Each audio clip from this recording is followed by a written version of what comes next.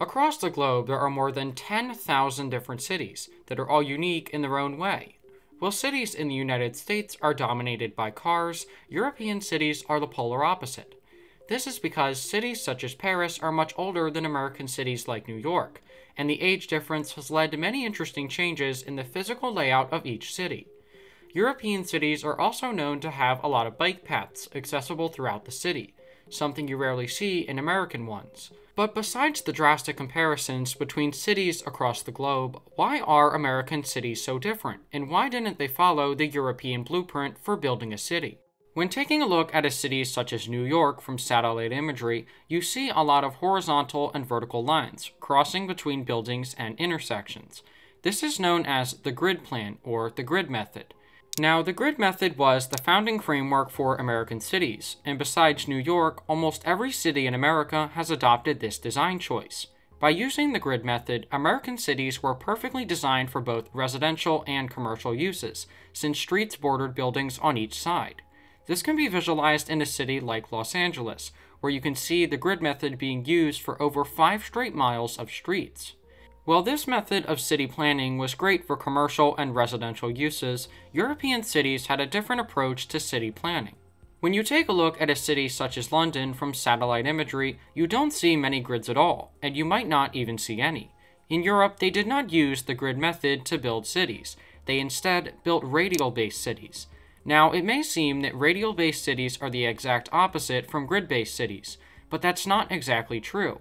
A radial based city is based on a series of concentric circles that surround a traffic intersection. This can be seen all across Europe in cities such as Paris and Denmark. The design dates back to ancient times, but is still very useful in today's cities. But again, this is something you rarely see in the United States, and there are many reasons behind this. For one, US cities were designed for profitability, and the grid method allows as many homes and buildings to be placed in a certain location without wasting any space. It also means that the city will be designed for cars, and not for walking or biking.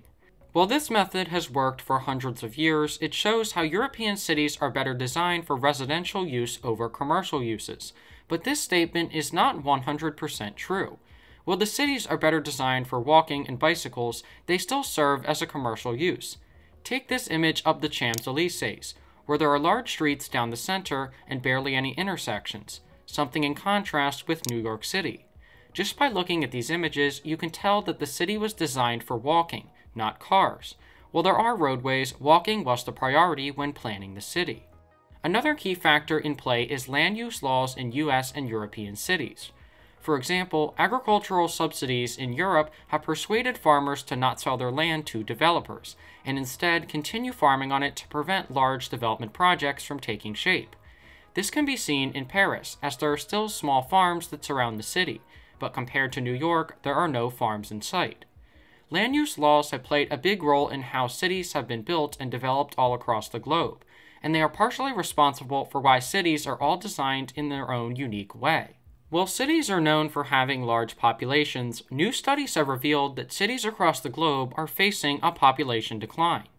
Today, more than 55% of the world's population lives in urban areas, and that number is expected to increase to 68% by 2050. Predictions show that people are leaving cities in hopes of living in more suburban areas. Now, this is being seen in American cities, and it's not necessarily because people are moving out, but just not moving in.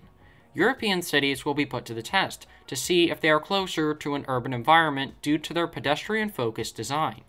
Since more of the world's population is looking to live in places with more open space and less congested areas, they may turn to European cities, where they were designed for residential uses over commercial uses. Throughout the next 20 to 30 years, we will see how cities across the globe react to more people wanting to live in the urban lifestyle. The grid plan will also be put to the test to see if it's a reliable method of city planning for decades into the future. The model of the European city has been around for hundreds of years, and many countries have used it as a blueprint for designing and planning their own cities. Although America was different and decided to create their own blueprint for a city, they showed the world how a city could be built catering towards both commercial and residential uses. But for now, American and European cities will always stay unique, and showed how two methods of city planning ended up changing the world. Thank you for watching and please subscribe if you enjoyed the video.